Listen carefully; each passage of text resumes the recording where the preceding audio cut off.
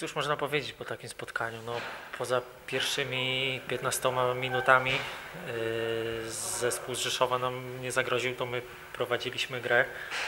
No ale straciliśmy takie bramki, jakie straciliśmy, no i przegrywamy 2-0. W drugiej połowie właśnie była fajna sytuacja, gdzie Kuba Chojnowski bodajże mocno strzeliwał piłkę wzdłuż pola karnego.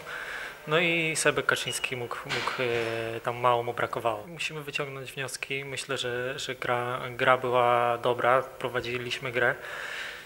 I mam nadzieję, że zagramy tak samo w Ostrudzie, z tym, że powinniśmy zagrać bardziej skutecznie.